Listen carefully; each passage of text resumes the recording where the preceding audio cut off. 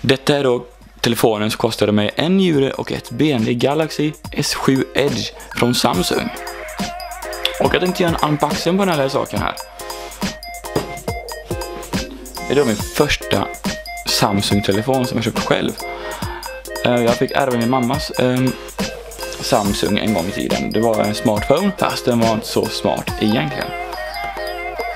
Jag tänkte jag skulle ta en titt på lådan förresten. Det är ju märkvärdigt att säga. Det står Galaxy Edge här, S7. Och står att den är till för europeiska marknaden och simkort och sådana saker. En svart låda, inget mer med det. Så jag ska försöka komma in i den här lådan här. Det blir en helt annan sak. Se om jag kan skära mig tummen. Eller undvika att göra det rättare sagt. Sådär ja. Åh, det här är coolt. Magneter. Ja, okej. Okay. Galaxy S7 har haft Samsung, sa jag ju. Ja, min förra telefonen var en uh, iPhone 5. Oh, wow, och det här, det här nu kommer jag. Mm. Jag kommer äta nudlar resten av året ser jag här. Redan nu. wow, vilken telefon. Man har ju sett den i butiken och sånt. Men... Ja, detta är då min nya telefon. Vi, vi tar en liten närmare titt på den alldeles strax. Låt oss bara... I alla fall, låt oss bara kolla vad som finns i lådan. Det kan vara någonting intressant här. Den här... Ja, en plastbricka. Den här lilla silvriga saken ska vi ha sen när sim... Simhållaren då. Den här. Och så finns det lite pappersarbete i den här. Vi behöver inte gå in på det. Innehållet här har vi då Samsungs legendariska snabbladdare. Den kan ladda telefonen extra snabbt. Jag som aldrig haft en smart Samsung förut eh, kan tycka det här är verkligen intressant. Apple har inget liknande så vitt jag vet. Och den här manicken är ju till för om man ska föra över någonting från gamla Samsung till den nya.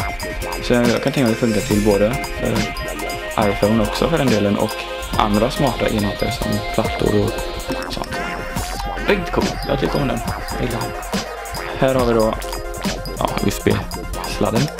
Uppenbarligen, den kommer jag inte använda direkt. Jag tror jag har hundra sådana här fast eh, man tappar alltid bort dem har jag märkt. Men det som är mest onödigaste enligt mig, mig i alla fall, för jag använder det aldrig. Det är eh, den här. Örsnäckorna. Nu ska jag se om jag kan försöka komma in i den här.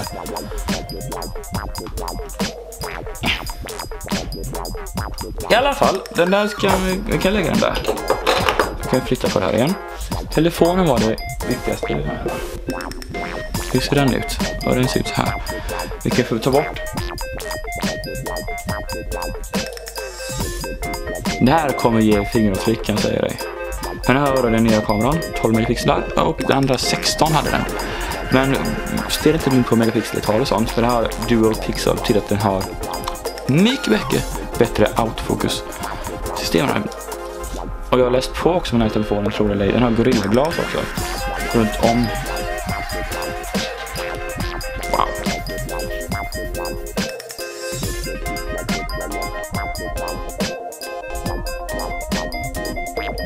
Wow.